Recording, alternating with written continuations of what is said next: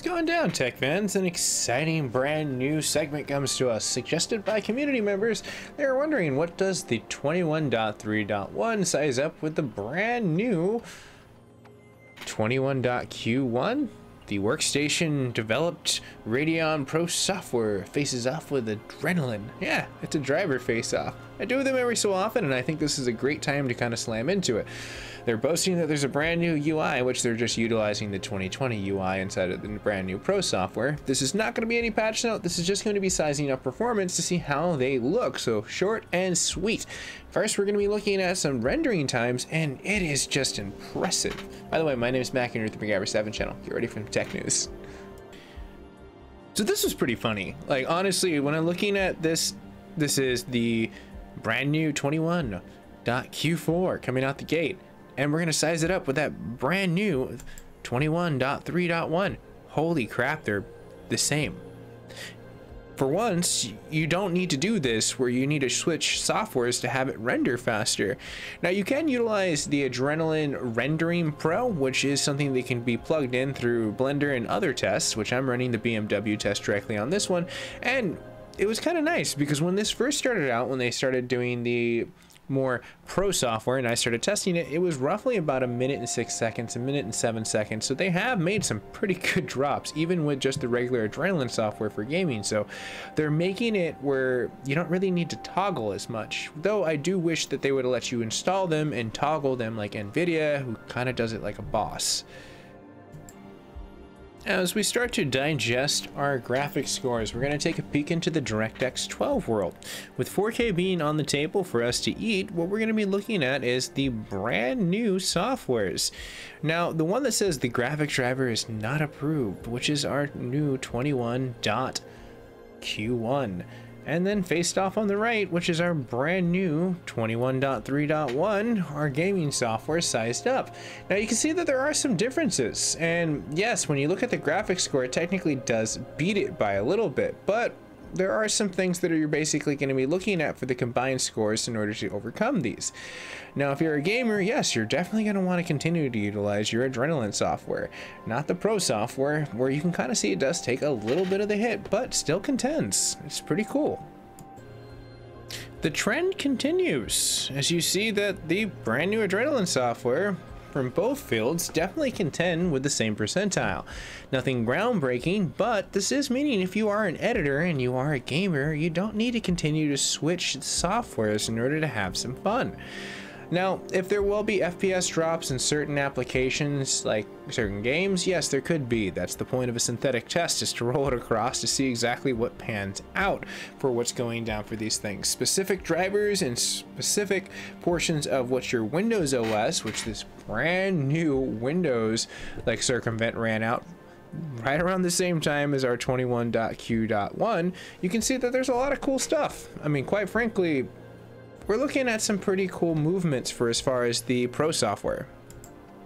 Now, it definitely seems like the pro software beats the gaming software from AMD, but when you look at the finite details, look at the graphics score, you will see that yes, the intended portion of what is going to show up on your gaming is going to be better with the gaming version. As you can see, even though it definitely does have a tiny bit for as far as it sinking down, that's where you're going to lose it a little bit in the combination, where it's going to be utilizing the DirectX 11 for rendering when it's needed for as far as that quality pro software. So there are some changes, even though there are a little bit of a perk. Now, if you do notice a game out of nowhere spiking up on FPS and you're like, holy crap, this is, this enterprise like pro software really works good for gaming, no, notate game it really is in the comments. I'd like to know exactly what is changing in the gameverse from the community. As the neck-to-neck -neck challenge in this face-off of drivers continues, you see the same exact thing.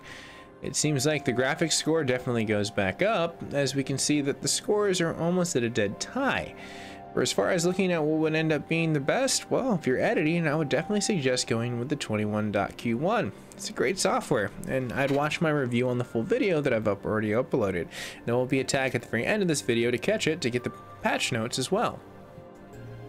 It it's pretty unanimous. Looking at a nice clean install for as far as the way you're going to operate, what we're going to come out from this is that if you are a gamer, you should probably be utilizing the Adrenalin software.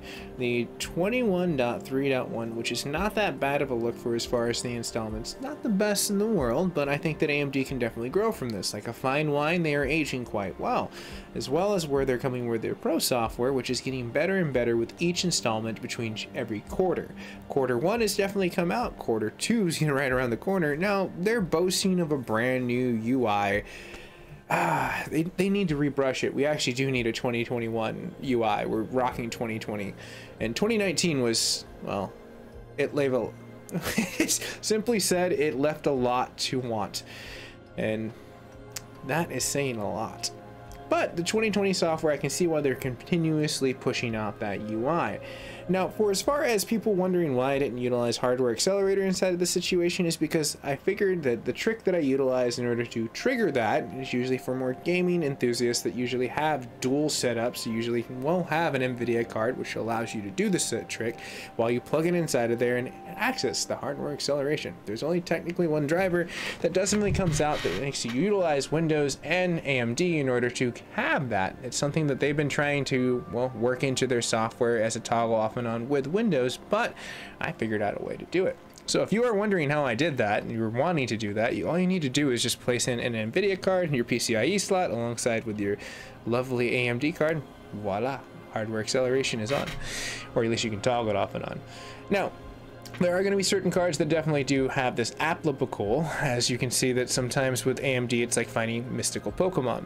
So I'm going to leave that as is, everyone. Should you install this? Well, it depends. Are you a gamer or are you a workstation? If you're a workstation, go with the Q1. If you're a gamer, go with the 3.1.